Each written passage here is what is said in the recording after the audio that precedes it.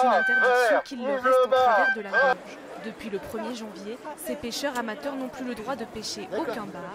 Un drame pour ces passionnés de pêche. Je suis retraité, je pêche par, par passion, par plaisir. Et là, je ne veux pas, je ne veux pas qu'on m'oblige moi, à pouvoir relâcher mon poisson. Si j'en ai envie, je le relâcherai sans problème.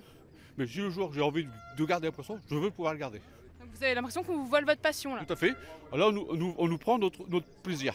La raison de cette décision qui ne concerne que les particuliers, la diminution dangereuse du stock de bar dans la Manche.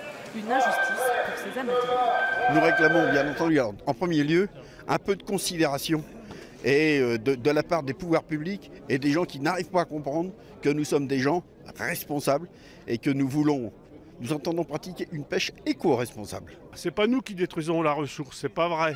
C'est un mensonge, c'est une ineptie.